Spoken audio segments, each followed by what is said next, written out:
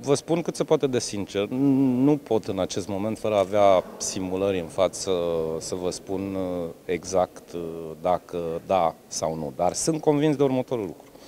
Atât timp cât uh, Mihai Tudose a luat această hotărâre, este o hotărâre bună.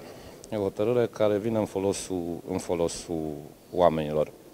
Poate ca și sfat din partea mea, pe care de fapt l-am și spus, Uh, să se comunice mai mult pe acest subiect, pentru că mm, e o etapă importantă în a explica de ce sunt bune aceste măsuri. Deocamdată auzim în spațiu public uh, doar explicațiile celor care critică, ceea ce nu e în regulă. Asta este treaba guvernului în a explica aceste Despre legea justiției, dați-mi voie să vă spun că am o, am o nedumerire, pentru că uh, înțeleg că sunt în dezbatere publică de undeva din august și un proces normal, eu nu spun că sunt bune sau rele, de a aproba o lege, duce în Parlament. În acest moment, aceste legi sunt în Parlament, unde va urma o dezbatere.